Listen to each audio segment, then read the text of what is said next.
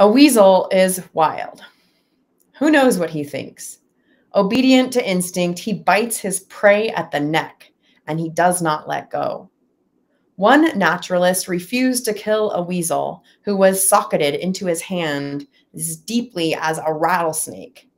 The man could in no way pry the tiny weasel off, and he had to walk half a mile to water the weasel dangling from his palm and soak him off like a stubborn label. And once, says Ernest Thompson Seton, once a man shot an eagle out of the sky, and he examined the eagle and found the dry skull of a weasel fixed by the jaws to his throat. The supposition is that the eagle had pounced on the weasel, and the weasel swiveled and bit as instinct taught him, tooth to neck, and nearly won. I would like to have seen that eagle from the air a few weeks or months before he was shot.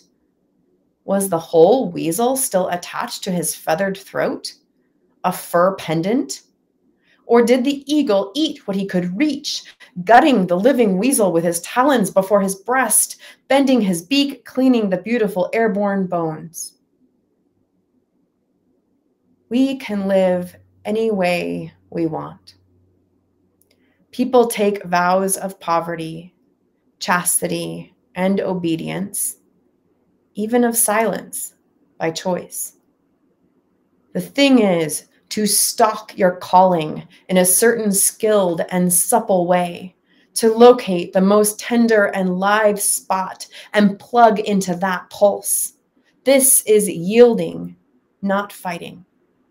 A weasel doesn't attack anything. A weasel lives as he's meant to, yielding at every moment to the perfect freedom of single necessity. I think it would be well and proper and obedient and pure, to grasp your one necessity and not let it go, to dangle from it limp when, wherever it takes you. Then, even death, where you're going, no matter how you live, cannot you part. Seize it and let it seize you up aloft, even till your eyes burn out and drop. Let your musky flesh fall off in shreds, and let your very bones unhinge and scatter, loosened over fields, over fields and woods lightly thoughtless from any height at all, from as high as eagles.